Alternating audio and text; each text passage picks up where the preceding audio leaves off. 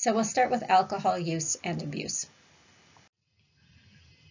So the DSM-5 has criteria for substance use disorder, and we've talked about the general criteria earlier, so now we'll talk specifically about alcohol or about those criteria using alcohol as an example. So to meet the criteria, you would an individual would need to have two or more symptoms occurring within a 12-month period. And that would indicate a disorder. But the severity of the disorder, which is now how it's categorized, the severity of AUD, alcohol use disorder, is defined as either mild, that is, they have two to three of the symptoms, moderate, they have four to five symptoms, or severe, six or more symptoms. So what are the symptoms? First of all, we have symptoms indicating impaired control. So we might have alcohol taken in larger amounts or over a longer period of time than intended. A person goes out to have a drink or two and ends up drinking the night away. Um, two, there is a persistent desire or unsuccessful effort to cut down or control alcohol use. Um, so the person is always saying, oh, I've got to stop drinking, and then doesn't seem to be able to do it. Thirdly, there's a great deal of time spent in activities necessary to obtain alcohol, use alcohol, or recover from its effects.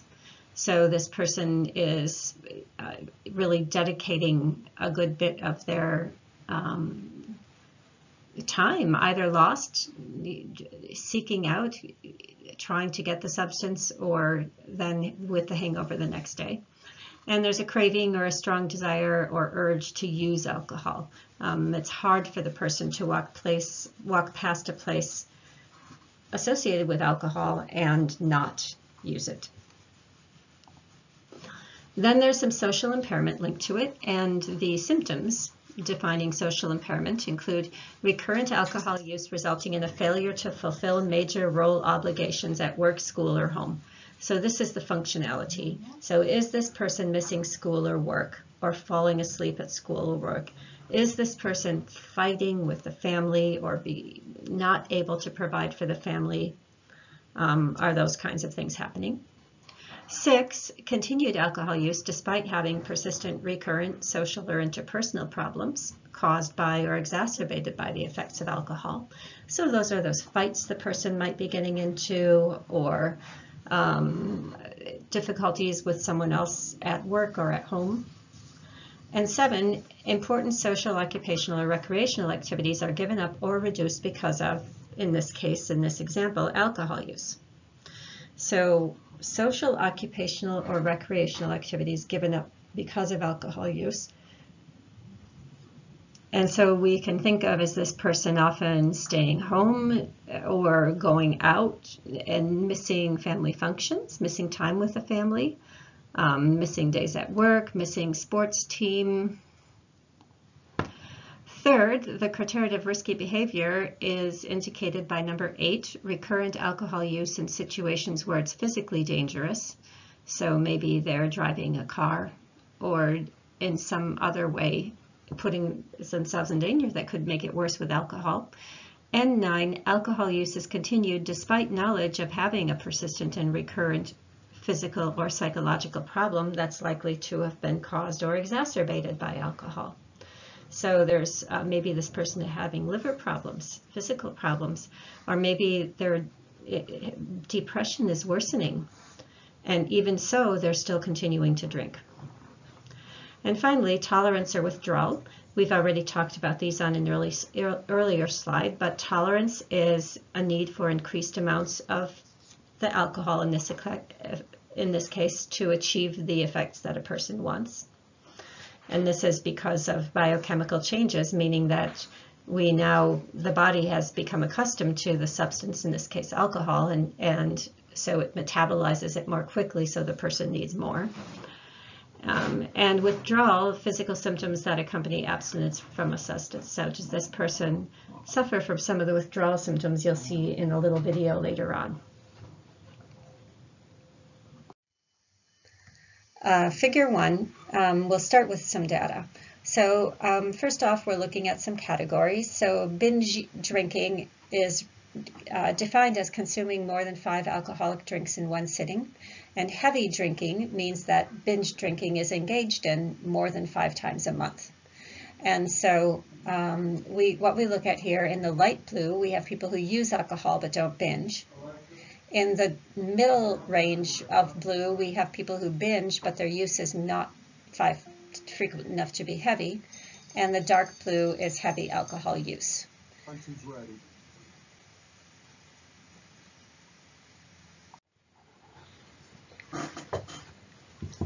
So you can see that the highest alcohol use is among uh, uh, adults aged 21 to 25 with declining rates up into really rates that are pretty consistent up until the late 40s and then slightly declining rates into the 50s and markedly declining rates at the age of 65. Um, with binge drinking the heaviest also among those young adults. So we have quite a young age of alcohol use beginning as of 2005. Um, alcohol use and abuse by ethnicity. Um, we do have, and this is um, percent using in the past month, so we do actually have high use among the most people um, who are white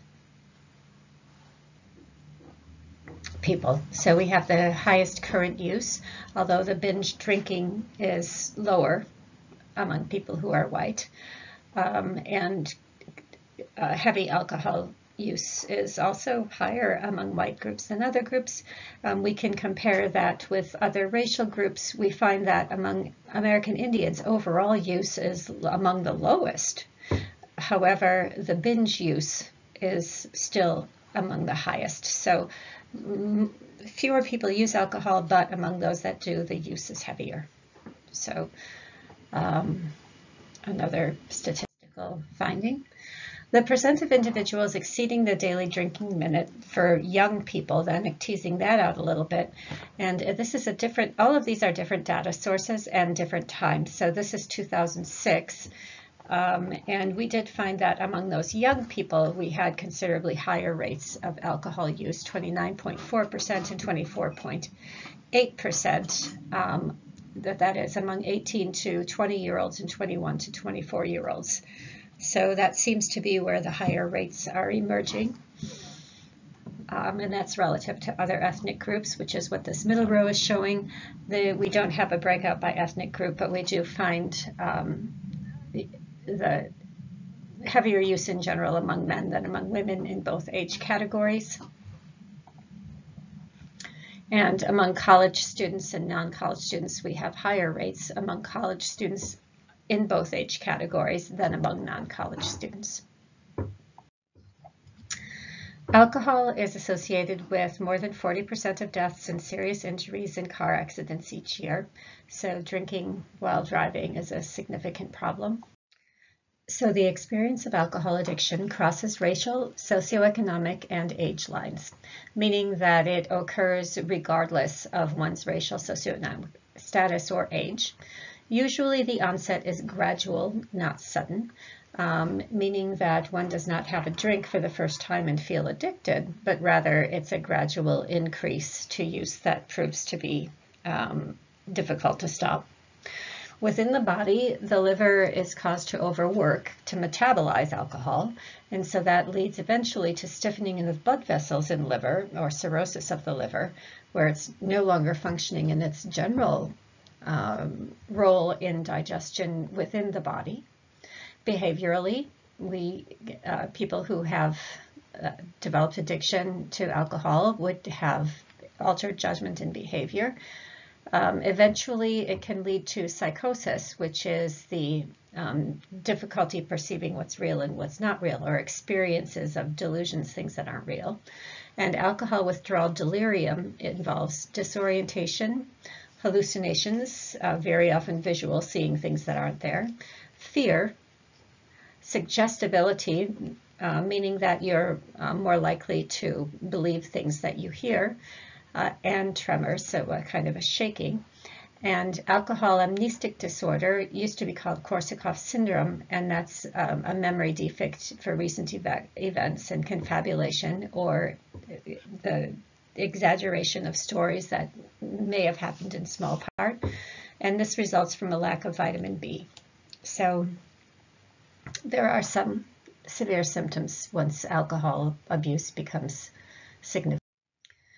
So you will be watching a video that will describe this um, slide to you in some detail. This is going over the withdrawal symptoms that people, people tend to have and the timeline in which they tend to have those characteristics. And so I will leave that to you to watch in the video, and that is on our webpage.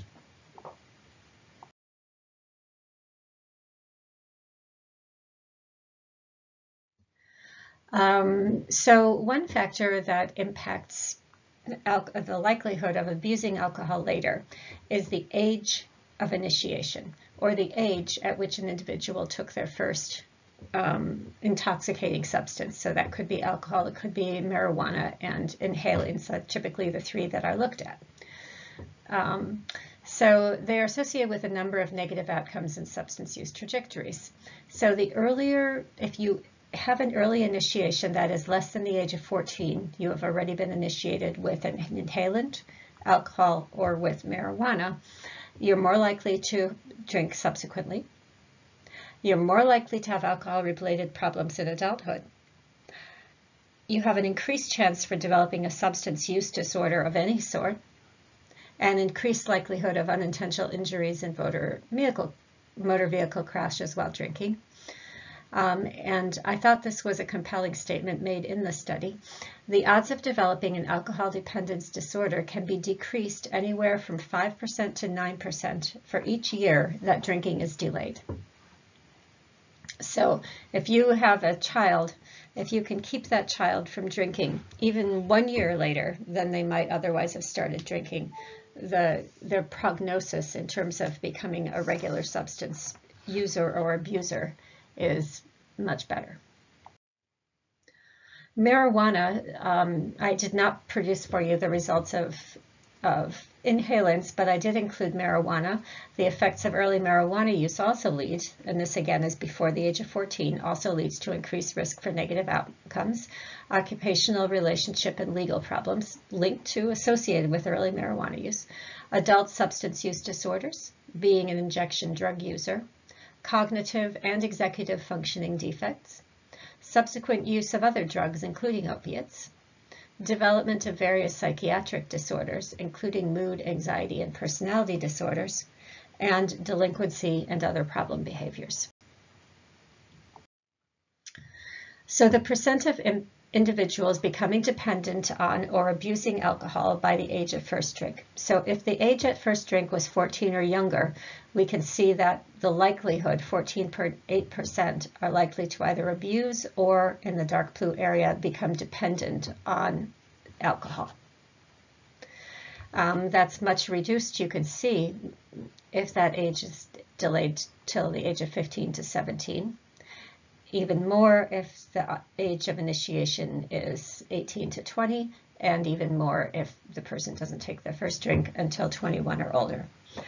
Now, we're looking at correlations, and correlations have always a logical flaw in that um, you can't assume that there's a direct linear relationship between taking that first drink and later dependence because the factors that cause an individual to drink at the age of 14 or younger may in fact be the factors that are contributing to the later dependence um, or abuse of alcohol. Um, and what percent of children are using these substances? This is broken out by ethnicity. Um, we do have um, percent of children aged 20, 12 to 17 who used alcohol, cigarettes, or marijuana in the past month.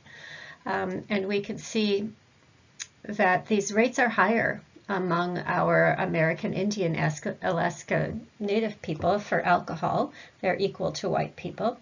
Um, for cigarette substances, they're considerably higher, and for marijuana, they're higher among our American Indian or Alaska Native population. We also have higher use among white people um, for cigarettes, uh, marijuana, and alcohol when compared with um, Black or Hispanic individuals.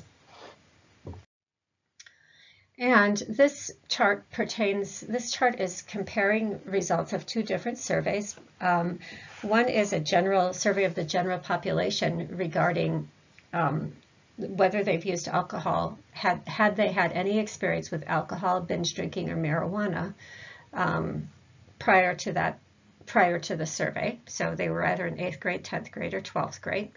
And then the other one was actually a different survey, but asking the same questions of American Indian or Alaska Native people. And so we can see that in eighth grade, the American Indian Alaska Native people had significantly higher likelihood, more than twice the likelihood of using alcohol in eighth grade compared to the general population.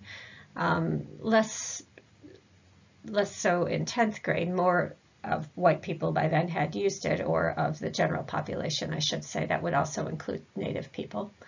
Um, and by 12th grade, the general population had greatly increased its use. So it's this bar, this eighth grade use, that's the most striking with respect to alcohol. And we have similar results um, with, again, our Amer American Indian population having higher results in eighth grade for binge drinking and still even slightly higher in 10th grade. The asterisks here mean that it was still significant, statistically significant. Um, and then by 12th grade, again, the general population had had that first binge drinking experience. And for marijuana, the usage was higher throughout for the American Indian population. And this is the significance of this isn't, it, it's simply that the likelihood of later abuse increases with earlier use. So that's why subsequent studies, um, there's quite a lot of work done on this out of the University of New Mexico looking at what, um, what, why do we have these early use, which is so linked to later abuse in this particular population. So I tried to tease that out a little bit.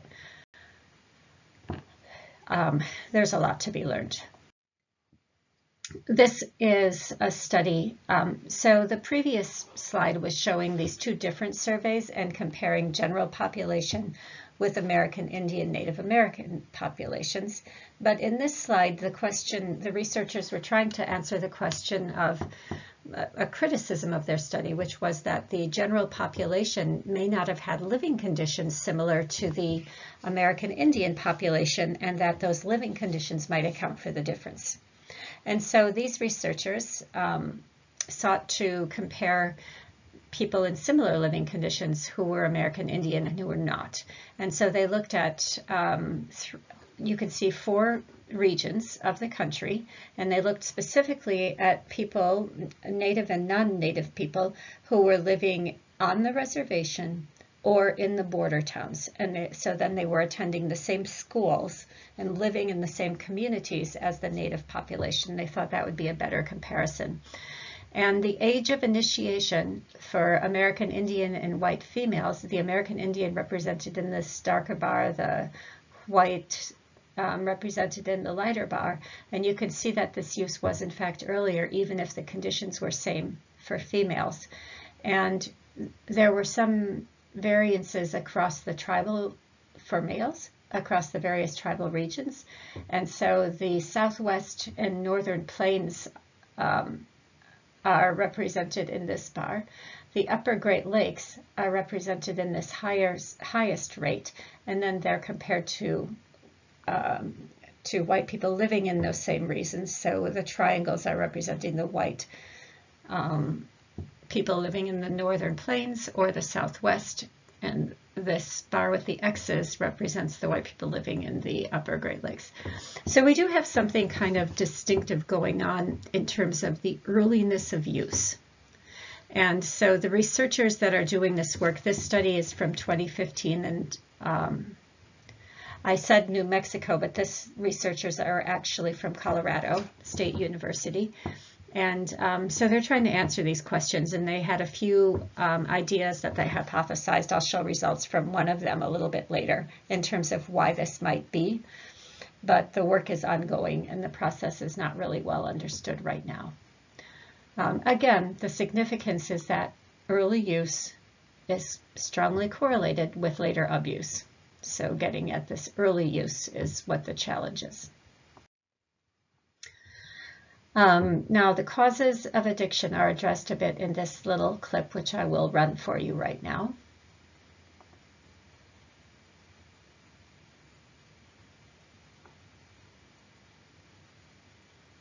But when we look more closely at the, at the behavioral pharmacology or the biology of addiction, we see that there's a biological normality to it.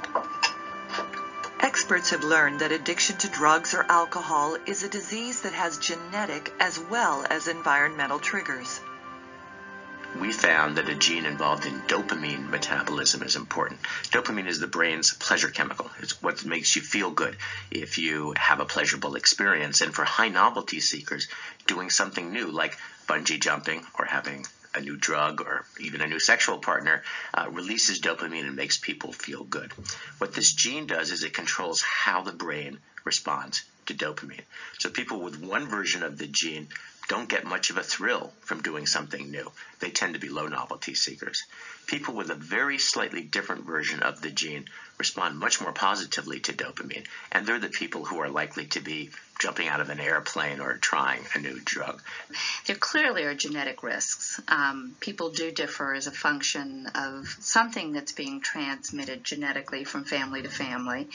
When you look at certain family complexes, you can see these multi generational, multi affected families where the risk is just so high for the people becoming alcohol or drug users or abusers. Certainly, we know that in the alcoholism area, uh, children of alcoholics are at about a threefold risk of becoming alcoholic themselves compared to children of non-alcoholics.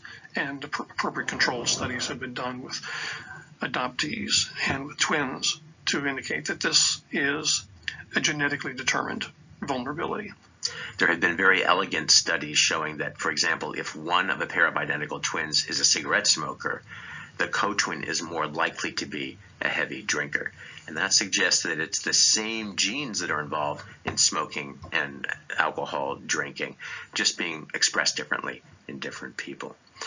So this co-occurrence uh, may represent a, a, general vulnerability factor that may be reflected in, in personality characteristics that are genetically determined. People with family histories, uh, people with comorbid psychiatric disorders, uh, are at higher risk.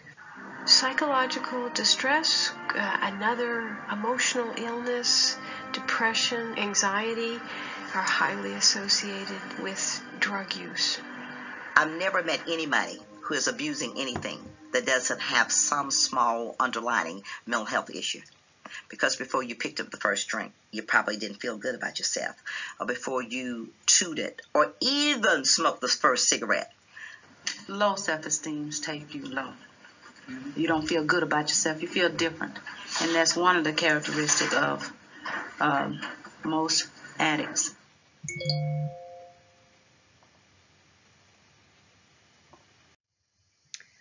So let's tease out a couple of those ideas that they brought forward to us. So the causes of substance use disorders, as was mentioned in the film, there are some genetic factors and there are social heritability factors. So we have this child here who may have inherited a gene from his mother that leads him to be more likely to abuse drugs, but he also inherits this social acceptiveness of this, having this, you know, they're playing a game and here's the alcohol right around right around him. And so his susceptibility is increased both because of his possible genetic package and the social environment that he's in. Um, so in parents who use drugs and alcohol, both modeling and inattentive parenting play a role. So in this case, we have this modeling of the social acceptability of alcohol, but we also then might have the consequences of this for the parent. So does the parent want to engage the child on, let's say, um, seeing that they get their homework done or dealing with a disciplinary matter if they're drinking or under the influence of some drug? Perhaps they're better off, they're going to feel better if they just distract the child or keep the child from bothering them. And that can be a factor in this addictive cycle. Stress, um, life disorientation and anxiety can lead someone to feel that the alcohol is giving them a sense of relief. They are less aware of or less impacted by their problems in that moment of drinking. Of course, we know that just from the little bit that we've looked at, that anxiety is likely to increase as you um, come to become dependent on alcohol. So it's a very um, ineffective short-term relief to that stress and anxiety.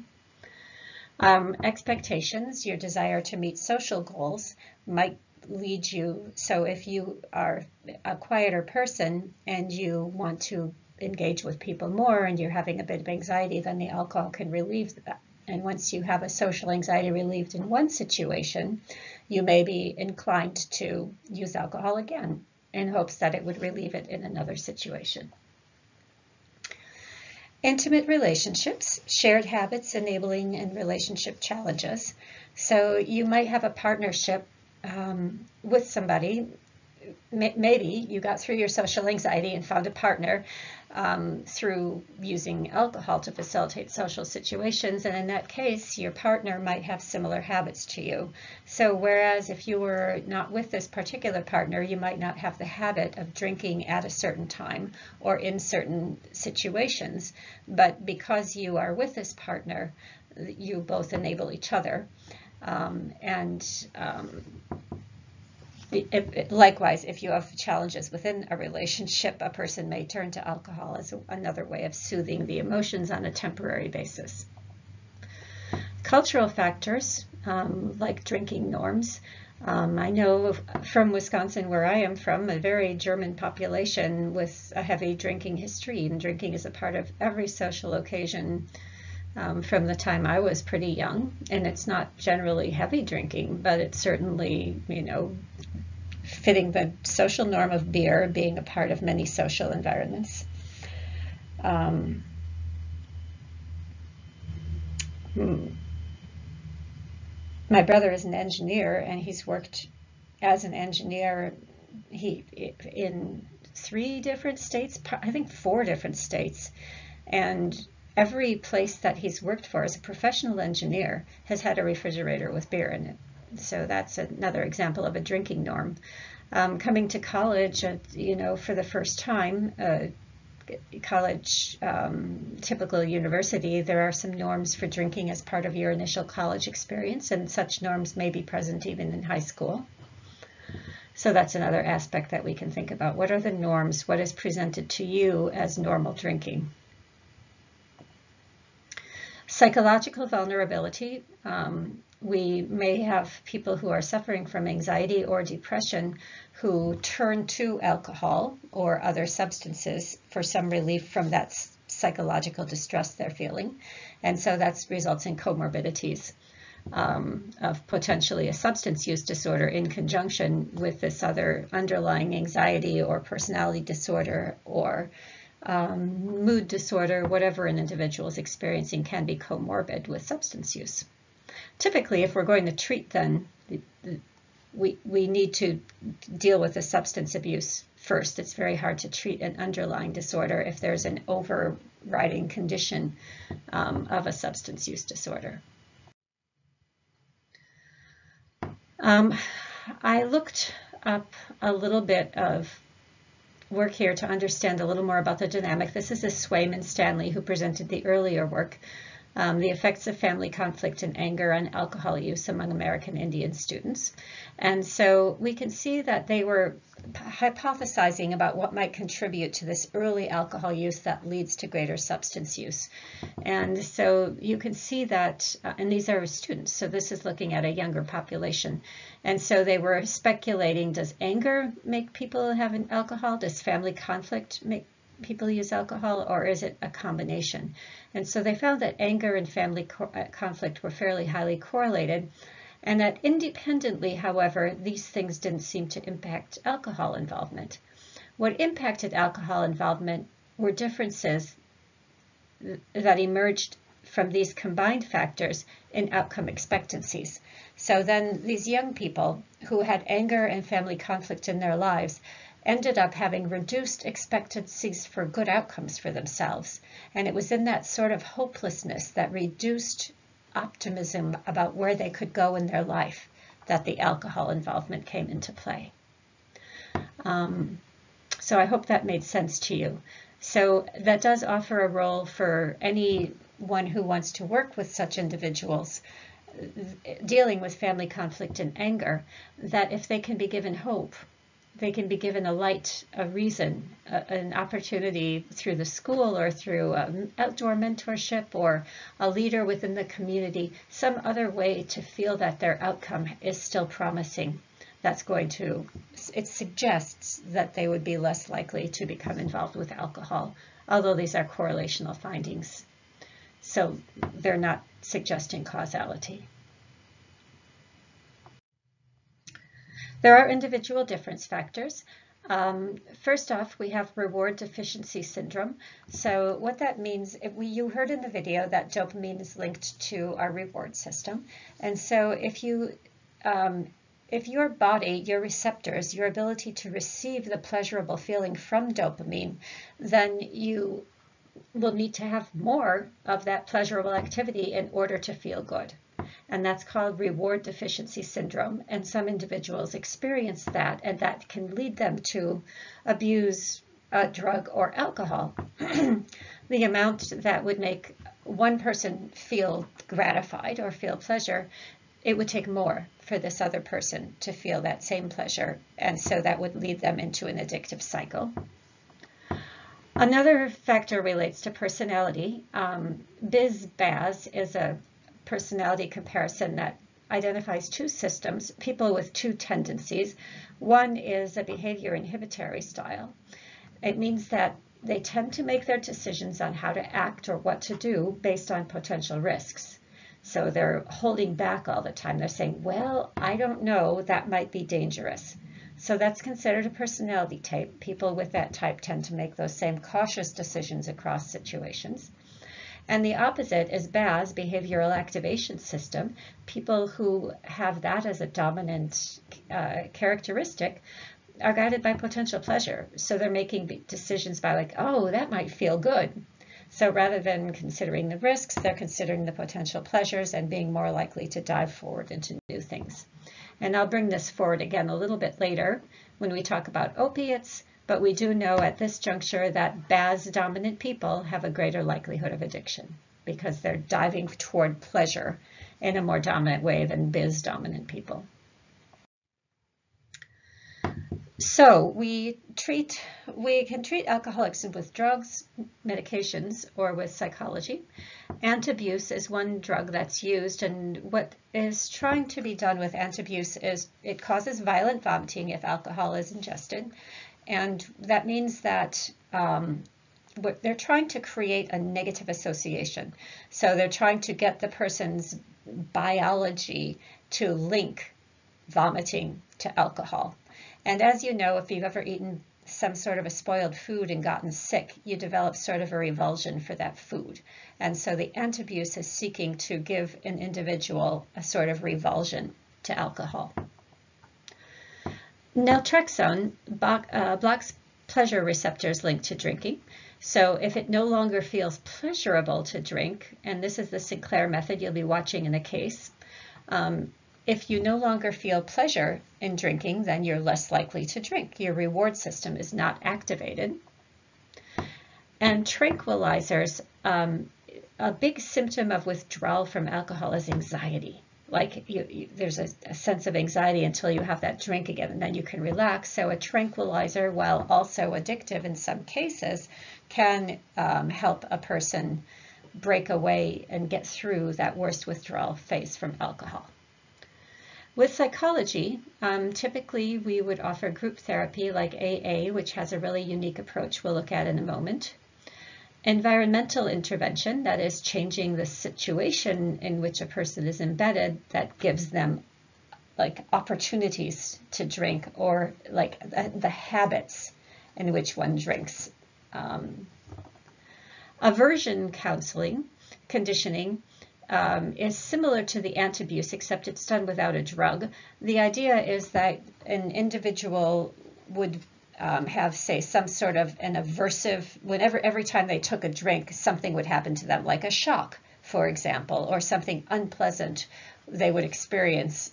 They would be deliberately exposed to something unpleasant at the same time as they're exposed to the alcohol, with the idea, again, that they would develop a sort of aversion to the alcohol. And the one you've heard about so many times before, cognitive behavioral therapy, that is addressing the thinking and the um, behavioral rewards and helping a person to change their behavior by looking at those two dimensions. Some things that might come into play would be education, stress management, modifying the way you think about it, like if you think at a social party that you have to be the life of the party, that might be a cognition that would be modified, and modify your expectations um, about what you about what you can and can't be, either modifying upward in terms of there is still hope for you if you're a young person in that family conflict situation, or modifying um, um, modifying expectations downward for how, how good and how charming you have to be.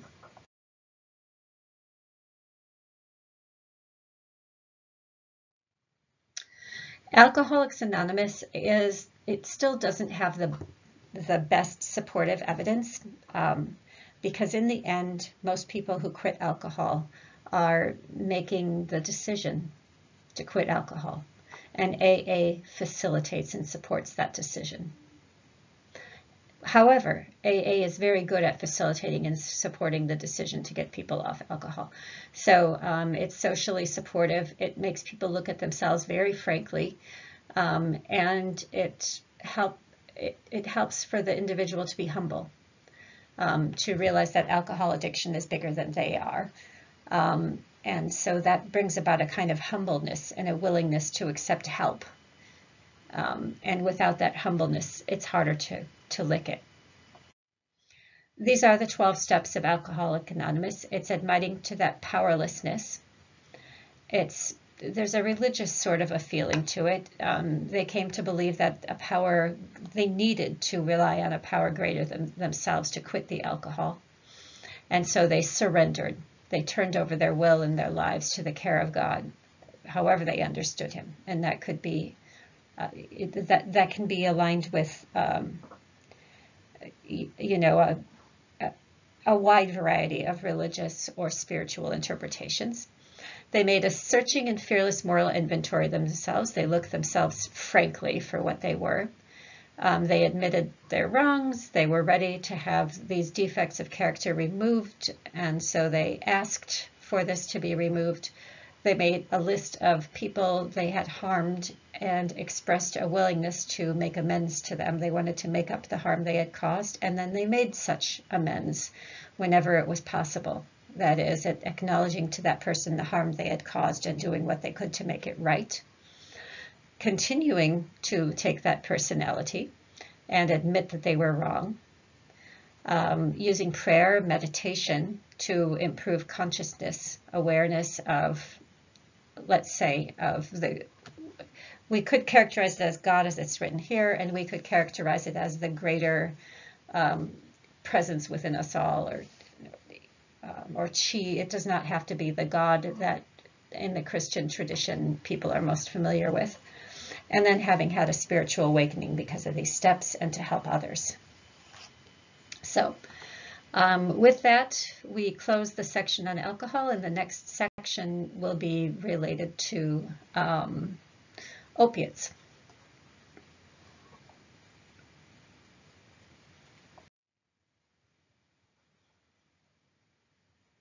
Um, and I take back that word that I said at the end of the last slide because I did put some more in here um, in terms of what are the barriers to getting help. And this does focus on American Indian people. And you can see that personal barriers were present for quite a large proportion of people, including things like I like drinking, I like getting drunk, drinking is a way of life. And these are a relatively small sample, but of the small sample, these personal barriers were a strong factor um, of those who were potentially abusing alcohol. I thought I could handle it on my own, and these are people who have sought these are people who have sought help, but why they didn't get help sooner. So what were the barriers? They were afraid they would fail. They thought help was for people who had worse problems, didn't know how they would live without drinking, didn't know they had a problem. A second aspect of the barriers that they faced before they actually got help is they didn't want to listen. They didn't want to have someone tell them what to do with their life. They didn't want someone to tell them to stop drinking and go to these 12 step groups.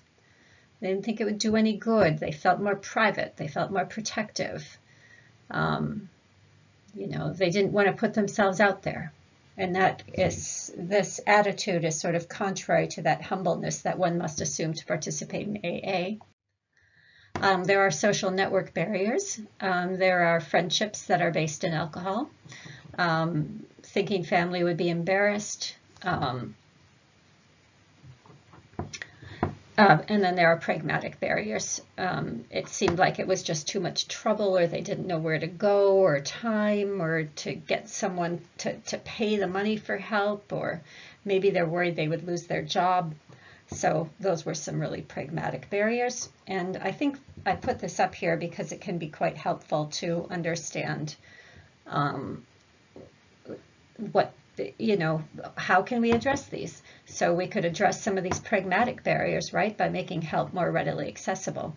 The social network barriers, now that might be harder for us to address. Um, you know, but you can see how this could be a helpful list to have because maybe some of these can be smoothed out by others and some of these have to be internal shifts.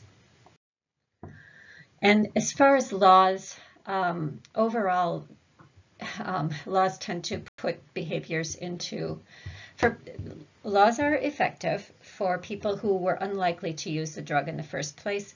That keeps them from using, it gives them an extra little boost for not using the drug or the alcohol. But for people who are susceptible or people who are likely to use it, having the law in place just makes it more hidden, more clandestine. And in the case of the laws um, in our country, I, I, think that most of you are well aware that un, the drinking age is 21 in this country, and that a large majority of people drink before the age of 21, so they break the law. And so the consequence is not of the prohibitions.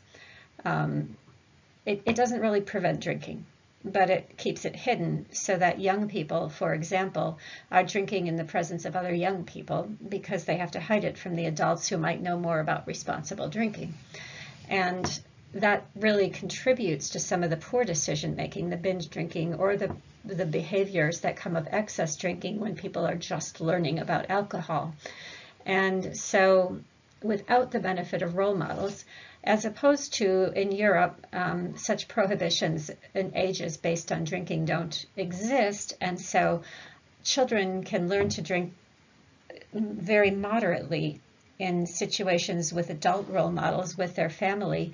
And that's different if you took these two young people and they were off drinking on their own, they would be much more likely to go overboard. Whereas now, if they're having this small glass of wine with a, a, family member or a parent, or they're seeing their parents and family members drink just one glass of wine with this meal, they're having much better role modeling and much better opportunity to learn about what alcohol is and what it does within the protective sanctum of the family.